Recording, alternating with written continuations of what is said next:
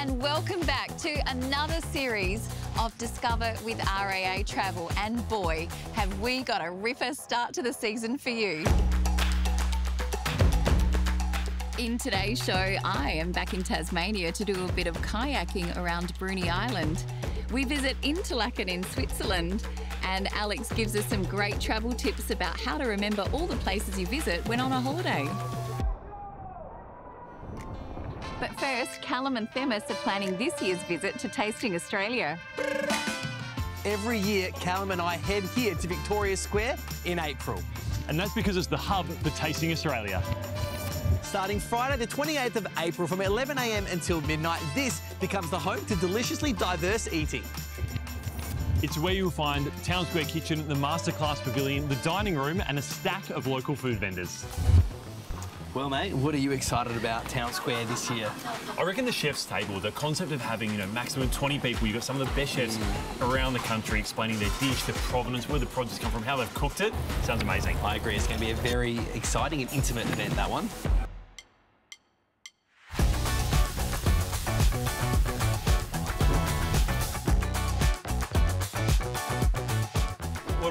Mate, I can't wait to get along to one of the many masterclasses that are on in Town Square. Um, there's over 30 masterclasses. The majority of them are wine or alcohol focused, I must admit. Uh, but most of them are about wine. And I am, I'm looking at this guy right here, the greatest white wine you've never tried, aka Chenin Blanc. I do love a little Chenin Blanc. And don't forget about the express lunches. Last year, that Yeah, was absolutely. such a hit. 45 bucks for a main course and a glass of wine.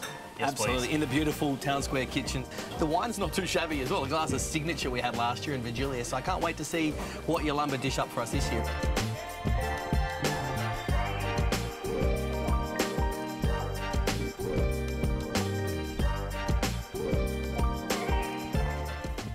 Of course, there's also Town Square Kitchen. Now, that's probably the most recognisable part of Tasting Australia. It sits in the top, the northern aspect of Victoria Square. It's that beautifully laid out equipped marquee there where they have these wonderful dinners featuring chefs from all around the world.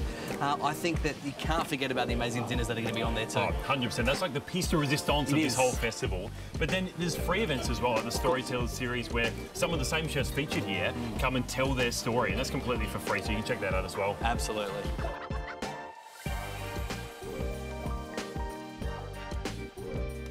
And of course, Tasting Australia is about so much more than just what goes on in Town Square.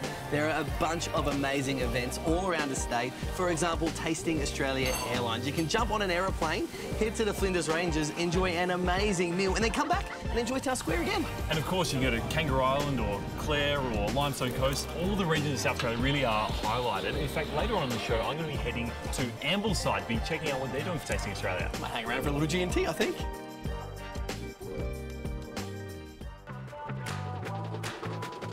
Tasmania is one of those places that has so much on offer. Everything from great walks to long lunches at wineries. Today, I'm doing something a little more adventurous and heading out of Hobart to kayak across to Bruny Island.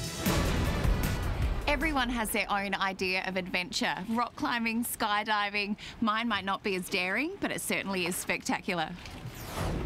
Toby, hi. Hey, Kelly. How are you? Yeah, good. Good to see you. Yeah, you too. Ready to get geared up? Let's do it. Okay. Well, we're just going to cruise around the southern end of Partridge Island and maybe we'll poke our noses out into the Southern Ocean and mm. have a look towards Antarctica. Amazing. On our way, baby. We're just going to head down the coast here. One of my favourite little spots. oh, let's do it. The trip starts in Hobart and we pick everyone up from their hotel or wherever they're staying in Hobart and we pretty much take care of everything from there. So in theory, the moment you get into the into the car, you shouldn't have to pull out your wallet or worry about anything at all. We transport uh, down to the D'Entrecasteaux Channel and paddle across to Bruny Island, which is always a big highlight for people. And then we move to our lodge, uh, where we're situated each evening for the next three nights. And from there, we're going to go out and explore the different areas that Bruny Island has um, over the course of the four days. Might be thinking four days seems like a long time to be in a kayak, but with surrounds like this, who wants to be on the land? This is a really great area for us to spot sea eagles, wedge-tailed eagles, um, Australian fur seals, lots of other variety of uh, bird life, um, those seabirds and, and land birds. Um, it's a great place for us to see the macrocystis or giant kelp um, throughout these areas. And I guess, yeah, again, this is probably one of the great areas for beautiful white sand beaches. And then just around the corner, the Southern Ocean and the big sea cliffs and beyond. Straight out here is the Antarctic. Can you believe? We're not heading there today though.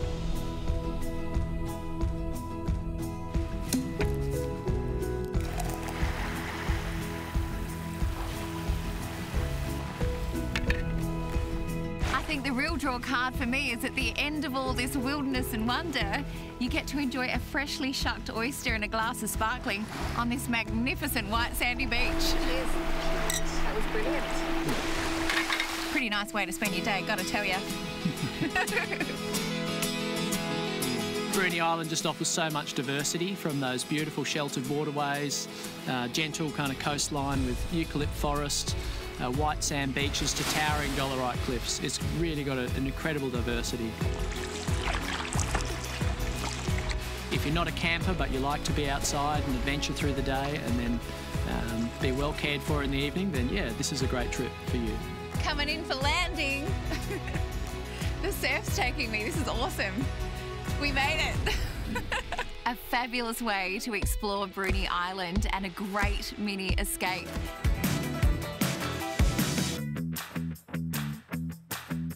Are you feeling it? Are you getting a little restless? Is that travel bug biting? Well, how does an action-packed trip to Interlaken sound? Tegan Nash is certainly enjoying it.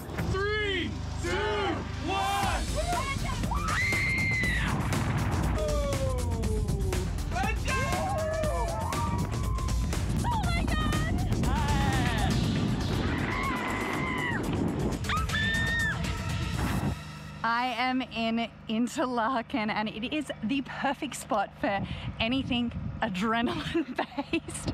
I just bungee jumped. Look at this. Oh my gosh. So many more things to do. Let's go.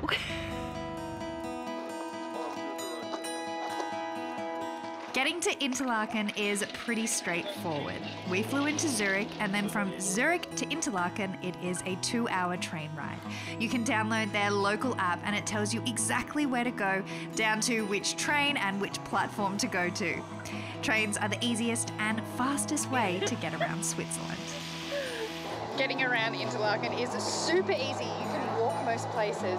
But we are going to hire some bikes. Go around Lake Brienz, that is just wonderful.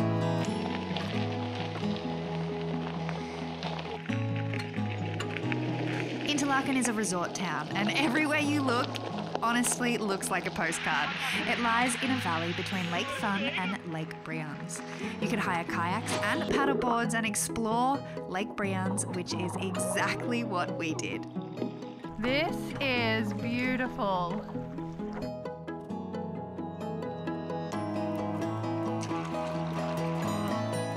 So we've ridden around Interlaken, we've seen it from the train and on water.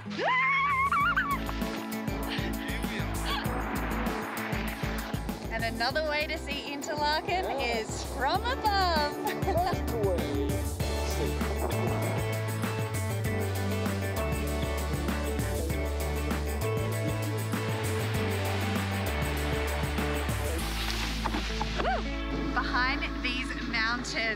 Is Jungfrau Joch, which is the highest train station in Europe. It is absolutely breathtaking. I am lost for words. I love it here. I'm moving here. I live here now.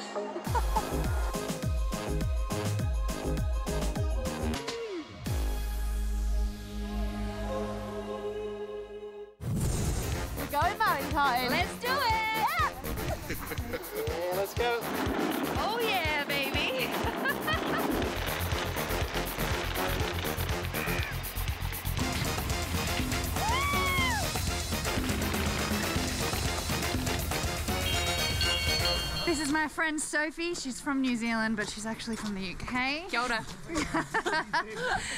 And today, we're going canyoning. We're going canyoning. It's going to be 11 degrees. It'll be cold. But it's going to be fun. I think it's going to be exhilarating. First things first, you want to be warm, but make sure you put your wetsuit on the right way, not like my friend Gotchi. Look at what is happening.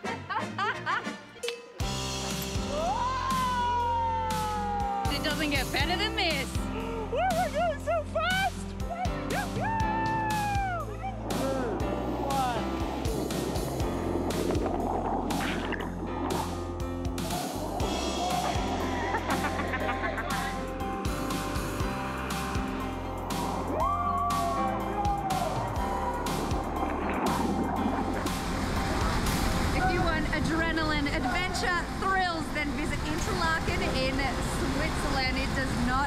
Disappoint.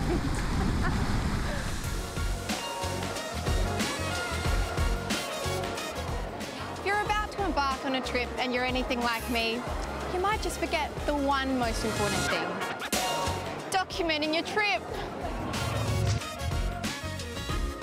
You spent a ton of time researching, chatting to experts, and making bookings. Ways you can keep track of those magical tucked away places with your friends. Postcards. I know they sound a little bit outdated, but you can find them almost anywhere.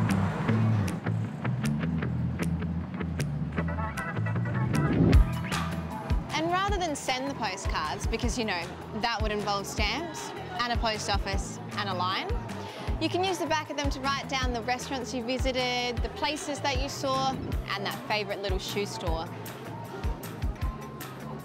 But if you're a little tech savvy and pretty good with a selfie stick, why not start a vlog and share your journey on the go?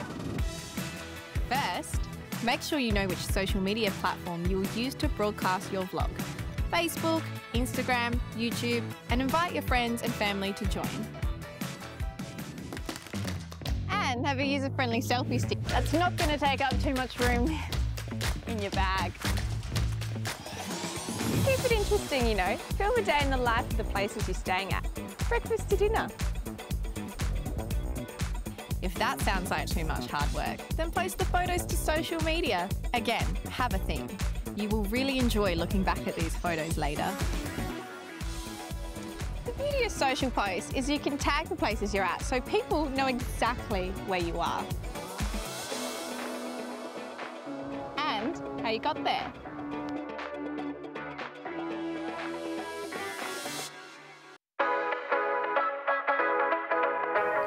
The other part I love about Tasting Australia is getting out to the events they host in the regions. I'm here at Ambleside Distillers to chat with Matt Dixon about the Oysters in the Hills event.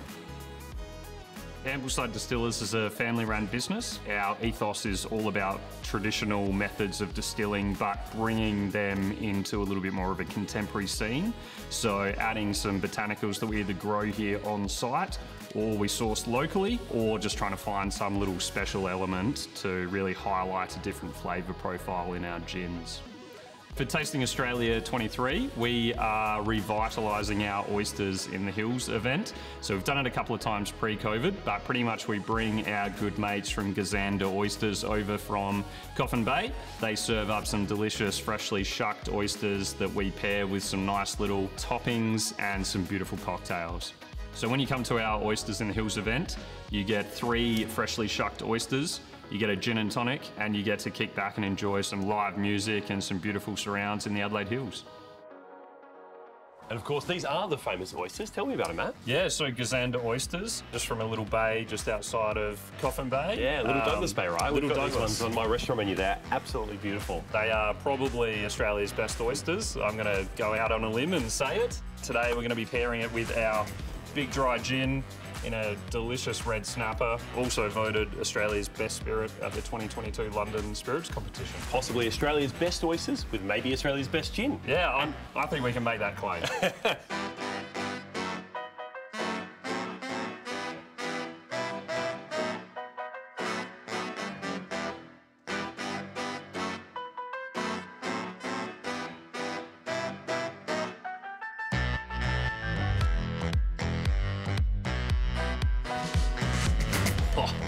a bit of spice in there, but that is so, so delicious. It's kind of like punchy and almost like a little bit savoury and umami, Yeah. but refreshing and cooling at the same time.